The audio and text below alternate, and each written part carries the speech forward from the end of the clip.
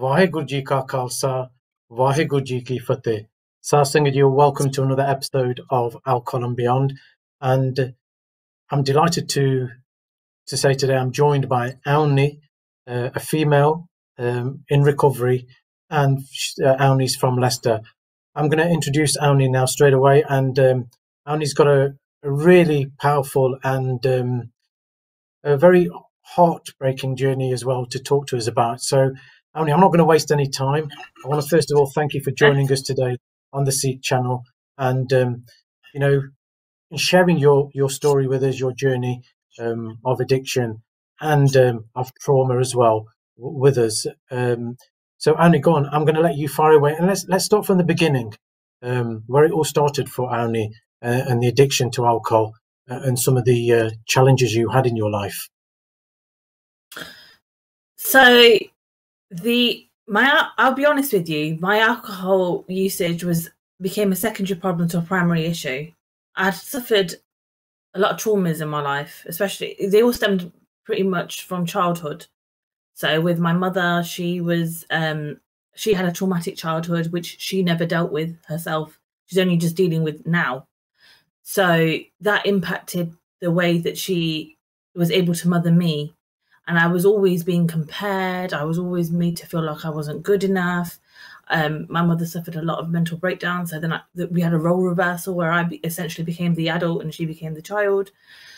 And then I was sexually abused by my dad's brother um, between the five and eight. I came out with that when I was 13 years old. But my dad's brother is married to my mom's sister. So as you can imagine, that caused all sorts of like problems, and it was sort of like, why didn't you come out with this before they got married? Um, are you sure it wasn't just a phase? Um, are you sure it wasn't just a dream? You know, and all these all these things, and then eventually it was almost like, okay, it's happened now. Okay, put it under the carpet and move on. Well, life doesn't work like that, you know.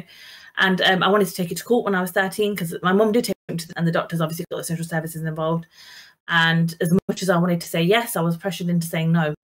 Um, and back then I was really angry at my mom, don't get me wrong, but looking back now, she was one woman and she had my whole dad's family not believing it or believing it and not really taking any notice of it.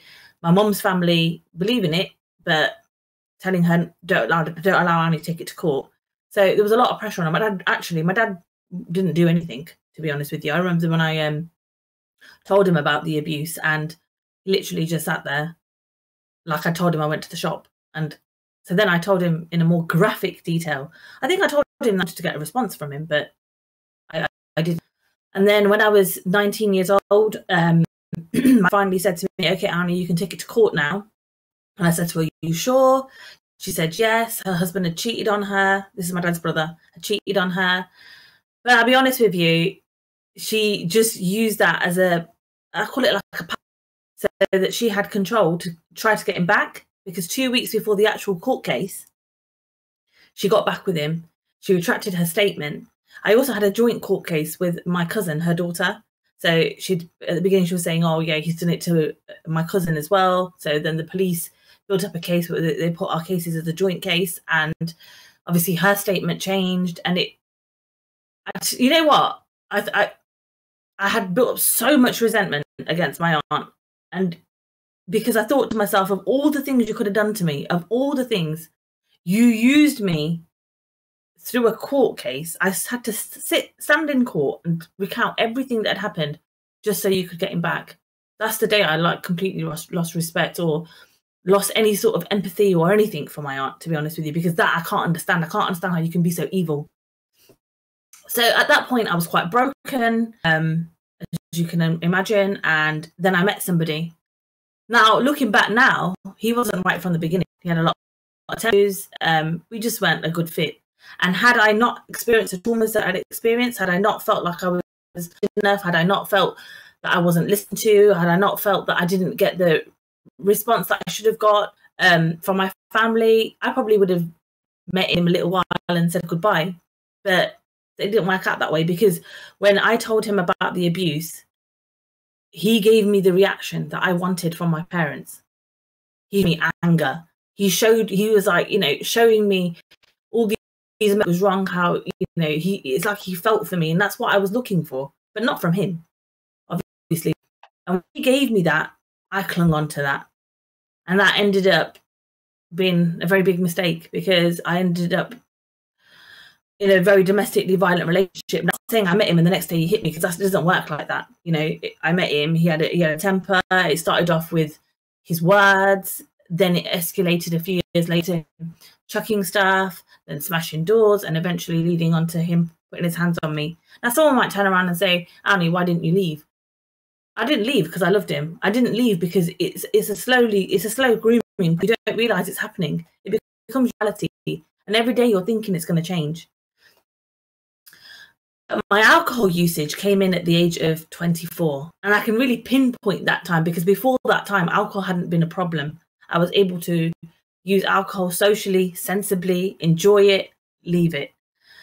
But at the age of 24 i, be- I had my daughter um, i became i moved out obviously i moved with him. I became very isolated. It was a very toxic relationship. Um, i'd I fell pregnant in my first year of university with my daughter, so I took a year out. I went to uni in my second year at De Montfort in Leicester.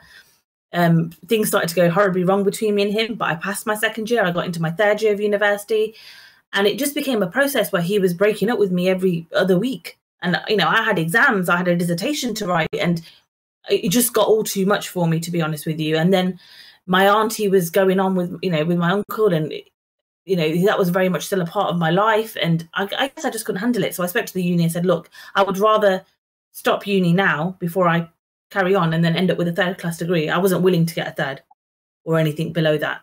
Um, so after i left uni i really pretty much had nothing. It was just me and my daughter in this toxic relationship and i guess i had time to think about all things that were happening and going on in my life that had been and I, I actually I just couldn't cope with them. So I used alcohol as a self-medicating tool. It's cheap. It did exactly what I wanted it to do, and it and that became and I used to binge drink, so it became a a, a, a habit of mine. I want a habit, a process. You know, every time something goes wrong. so you you you I think in you took uh, thirteen, um, the abuse with your uncle. Yeah. And then and 19 when your mother allows you to take it to court? It was my aunt. Yeah, my aunt said. Aunt, yeah. Aunt, sorry, your aunt allowed you to to pursue it in the courts, and then at 24, um, your relationship when you, you're having your first daughter. So there's quite a, a bit of a time span, isn't there? And then it, then you your relationship with alcohol develops when you're 24, and you start cushioning that pain that you've yeah. through that trauma. You're using that as a as a tool really to cushion that pain the alcohol. Yeah definitely because i'd had a few I'd unsuccessful suicide attempts when in my mm-hmm. um, teenage years you know? So there, there was a lot there was a lot of deep rooted pain there that i'd never dealt with. I'd, I'd never dealt with it. You know i tried to go on life as normal but life how can it be normal? Because there was so much going on inside me. Um like i said I, I tried to kill myself because i hated myself that much I hated life that much. Um, and with the domestic violence as well, like the, the mental abuse, to being told I'm not good enough, I'm not a good enough partner, I'm not a good enough my daughter, constantly being compared to what I should be, being told what who I should be, what I should be saying, where where I should be in my life, and where I actually am. And you know, I just wanted it to stop. To be honest with you. And Anna, Annie, were you drawing parallels with this, with being in this relationship, with how you was brought up as a child as well? what you could do, what you can't do, and how you should be. Well, yeah, because it was it was a message that was initiated as a child, and it was only it was reinforced by my partner. So this started as a child, you know. My mom, well, I said my mom didn't deal with her; she hadn't never dealt with her traumas. So what other people thought was always important to her. I was I was quite an active child. People say to us hyperactive. I wasn't hyperactive. I was just a child that loved to be in my own world. I loved to be in my own mind and play in my own, own imagination, you know. But they would make her feel bad for it. She'd take that out on me. She would compare me to my cousin, saying, you know, she can read. Why can't you? I remember at six when I couldn't read a card fully, a birthday card, and you know, she strangled me because of it. It, it was it was that kind of severity at times, and and it was always being compared, always being said, "You're here," and you know they're up here. And then the same message with my partner you're here. I'm here. You're here. You know, and when something is reinforced like that to you, you end up believing it. You end up Mm. believing that you're not good enough. You end up believing that you're not worthy. It becomes so deep rooted that even when that person leaves your life, that stays with you because you because you believe it now. You know, And what did the alcohol do? You know, and how did that progress in in becoming the addiction? the alcohol just numbed me to everything. You know, I didn't care. Like with alcohol, alcohol, I didn't think about any of these things. You know, at first when I drank the alcohol self-medicating tool, I don't want to say it was all right, but like I would have a binge for a day or two, and you know, then I'd be able to like stop. It was more sort of binge drinking at that point. But I'll be honest with you, as the years went on, the binges got longer and longer. uh, To the point I didn't want to call them binges anymore. You know, who has binges for like three weeks? But I did you know, and then I would like try to stop because I had, you know, I, I, it wasn't that I was jobless this whole time, but I did, I did get a job eventually like in a, laboratory, and I suppose in a sense that was that should have been a point where I should have thought to myself, oh my god, Annie, look, you've been told all these things, and look what profession professional job you've been able to get yourself into. But that's that that's that's the power of not not being healed it doesn't matter what you've got around you; it's what you think inside you and what you believe inside Mhm. you. You know, and it was also a case where I was always, yeah, I would try to look the part. Even on a weekend, I'd be up, dressed by ten o'clock, get up and dressed by ten o'clock, nowhere to go.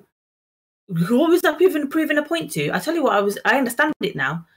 I, I was trying to look at the part, this this picture perfect part, because my life, I wasn't in control of my life. Whereas now, I literally am jamming in my pajamas all day, and it's okay because my life's on check. You know, my life's on track. So the uh, the alcohol was just it was a mask and a disguise, wasn't it? It was almost like a mask and a disguise. Yeah, and all what happened was uh, the more I used it as a self-medicating tool, it became autopilot. Like if Mm. some if I got upset about something, or if so, if someone, um, because I'm a very emotional person, person, sorry, and I'm a very overthinker. That's my that's my downfall. I've used that in a positive way in my recovery, but before I knew how to do that, I use it very much against me to the point where I'm thinking, overthinking, and then you know you you know you you go from one thing to like a thousand things, and um, alcohol just stopped that. Alcohol stopped all the thoughts. Alcohol let me sleep. I thought I was sleeping. Obviously, you're not sleeping very well, but it, it just it just numbed me to everything. And at that time, that's what I wanted. But as I said to you, as the years went on, and it, the more it became autopilot, I found myself going to the shop even before I knew what I was doing. You know, mm. until it got to a point in 2019. Because if someone's going to say to me, Annie, did you know? By my by the age of about 28, 29, did I know alcohol was a problem? Yeah, deep down, I did know it was a problem. I did know, but you know, I was maybe in denial, trying trying Yeah. to think, oh no, no, you know, I, I could change this around, this round, you know, but Was that because of the now- feeling, was that because of the feeling it gave you and how it made you feel? You know, you talked about you talked about when you was a child, you like to get lost in your imaginary world. And yeah, I know from my experience, I could get, when I was getting drunk, um, I could get lost in my world of alcohol and just forget everything, no matter how serious the problem was. It just Well, doesn't. it- It, definitely. it, it was just me in that bottle at that time. Mm. I felt Mm. like it sounds ridiculous, but I felt like that bottle was my best friend, best friend in the whole world. And it doesn't sound ridiculous because you sound just like me, and we- we've had a conversation before we've met, and um, this is what uh, kind of drew me to you because your story just mirrors mine. You know, it, it, with the relationship with the alcohol, so it doesn't sound silly. I, I totally get what you're saying. Yeah, like it, it, it was like the alcohol was a person, and this oh. person that was the alcohol understood me, was there for me, didn't judge me. You know, it, it, it numbed me to everything. Like it was my best friend, and I developed a relationship with alcohol to the point where I loved alcohol so much that it overruled overruled my own life. You know, alcohol came before my my life, before my children, before my family. You know, but ultimately, alcohol came before me. That's the love I had for alcohol at, at, at my very worst, I would say. And you, you talk of 2019, and I know Annie when we spoke, um, and since we've been doing Alcohol and Beyond, we've had a lot of families phone the Sikh channel for support, for help, guidance, and some just do not know which way to turn and they just want to know what to do. Some don't even know that they can go to the GP and talk about this. And, and this is addicts as well as family members who are just at their um, wits' end. Um, I know your mum, I think, I believe your mum phoned the Sikh channel. Your mum phoned the Sikh mm-hmm. channel. She got in touch. And, you know, and it, it really warms our heart here at the Sikh channel, knowing that this is, was your first point of contact, um, the Sikh channel. And I spoke to your mum. We introduced her yes. to some services in Leicester.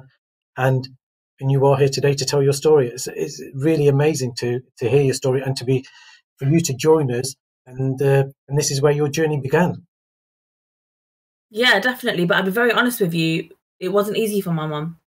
Um, and I and I think that there is such a lack of information around substance misuse, just in terms of people actually don't know where to where to go. People don't know what turning point. You know, I have people reaching out to me on my Facebook because I've, I've become quite open about my addiction now on Facebook. It's coming. You know, I'll be a year clean next year, next month, well next month, mm. eighth mm. of April next year. Um, you know, I get a lot of people reaching out, and it, and it shocks me that, you know they, they don't actually they know, no, don't know about these services. Also, my mum was up against a battle. She was a battle because the problem was not only did I have a substance misuse problem, I had a mental health problem too. Well, unfortunately, they say to you your mental health problem is due to your your alcoholism. That's not the case. The alcoholism is due to the mental health and that's that's a battle I was facing. I wasn't able to. In the end, my mom pushed and pushed to the point I was able to get a psychiatrist, you know, and I was able to get diagnosed. And you know, she she was. I think I don't know how she got in touch with Manjit back in or how she got in touch with you, but I know that she was ringing the GP every single day. And I remember at one stage she was said to the GP, "If my daughter dies, it's it's down to you," because they really are not as forthcoming with the help and support. You know, you're reaching out and it's almost like you're having to battle to get the help when you're already battling. You know, and I, and I think that there's a big flaw in the system somewhere. You know, thankfully for me, I had I had my mum.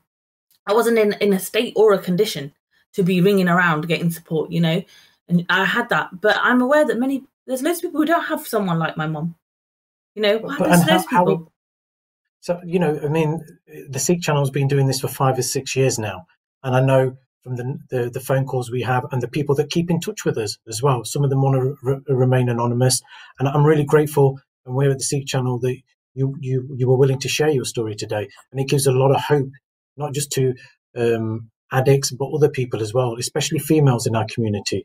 So, how yeah. important is how important is the Sikh channel and doing what they're doing in, in providing that hope for addicts and families and even people who've suffered traumas, um, you know, in childhood.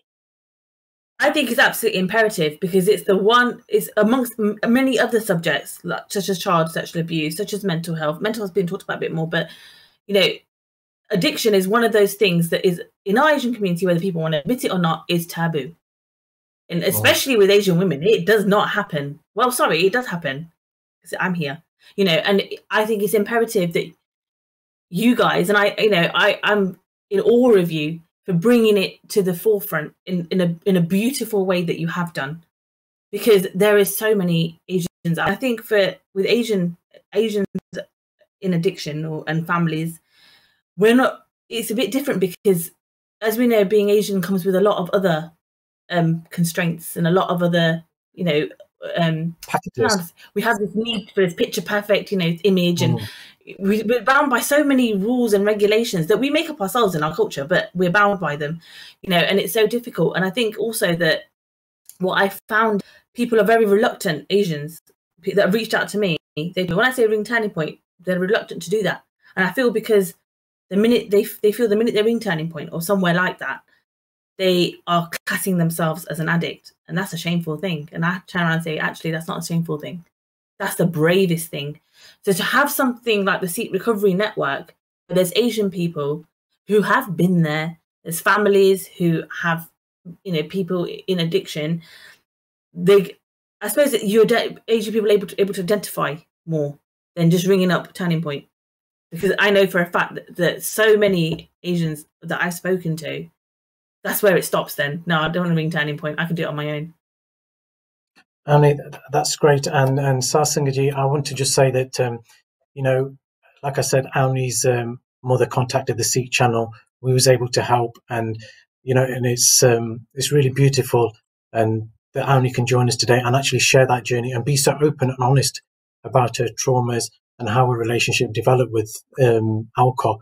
But you know, it doesn't have to get to that point where you have to reach to where um, did, and there is services that people just do not know about. We signposted um, uh, Aunee to Turning Point in Leicester, but there's services all around the country that are delivering alcohol and drug services. And the Sikh Channel, the Sikh Recovery Network are working with these uh, services now. We're doing work with Turning Point in Leicester, and uh, has become a peer mentor there. She's working towards that and actually supporting other, um, not just females, males as well. So, Sasangji, please continue um, uh, ringing the, the Sikh channel, the Sikh Recovery Network. And, um, you know, for us, um, it'd be a joy for you to come and share your journey with us as well. Aunee, um, you you said that um, phoning the Sikh channel and uh, using accessing the services at Turning Point were quite um, crucial in your recovery. And what was a turning point for you in your recovery and uh, the rehab centre you went to? It wasn't just crucial. It was I if if my mom hadn't got in touch with you, if I hadn't been at Turning Point, I'd be dead. And that's the truth. I'd be dead. It oh. sounds like I'm maybe exaggerating. I'm not exaggerating. You know, I, I, had a choice to make at that point, life or death. You know, my blood pressure was sky high. I was drinking a liter and a half of raw vodka a day. You know, I wasn't going to live very long. And um, you say that again. Say that again. How much? About uh, at the worst, a liter and a half of raw vodka a day. Yeah. Wow. Uh, even I can't believe it when I'm saying it to you, but wow. yeah, you know, and no, um, carry on. Sorry. No, say what you're going to say. I was going to say I was on a litre and I thought that was bad. So you as, as a female drinking a litre and a half, some people won't be able to comprehend that. No, and you know, the, the, like I said, my blood pressure went so high, and it, my high blood pressure, blood pressure became normal. I remember getting to hospital and they couldn't bring it down below 138 because I'm so. Oh. I'm not saying I'm like the tiniest thing, but I'm quite. My stature is quite small. So to be to be drinking that much um, alcohol and meat was a big had a big effect. It was detrimental to my body. Yeah. yeah. So, so, yeah, definitely. You know, you you didn't go to um, a rehab center, a treatment center that was for addictions, did you? So it was for addiction, but it was oh, addiction linked with it was a trauma informed rehab. So it was mm. for addiction, but the main focus of the rehab was on the traumas. So you very okay. much there, it was recognized that the addiction was a secondary problem to a primary issue. Uh-huh. And I think that was that was ideal for me because that's exactly what it was. You know, and in order to deal with the addiction, I had to deal with the, the traumas. Traumas. I had to heal from the trauma before I could even start trying to hit, to deal with the addiction. Um, so, only I think with a lot of people in the Asian community, you know, when um, I know the, the families we've even my own, my mum and my wife, they couldn't understand why I was drinking. When I look back at my life now, even childhood, I had traumas. There's traumas that I never dealt with. I never, I, I, didn't want to go there. And um, but a lot of people, you know, not just in the Asian community, in all communities, any community, won't recognize that traumas are um, something that actually turns us to something else. We, we find comfort in something else, and that usually is alcohol or drugs. Definitely, because they manifest. You know, you think oh. you left them in a box, but they're not. They're creeping out. They manifest themselves in in different ways. As I said, it comes outside. When you don't deal with something, you think you think you're fine, but actually it manifests itself in in ways you don't recognize at that time.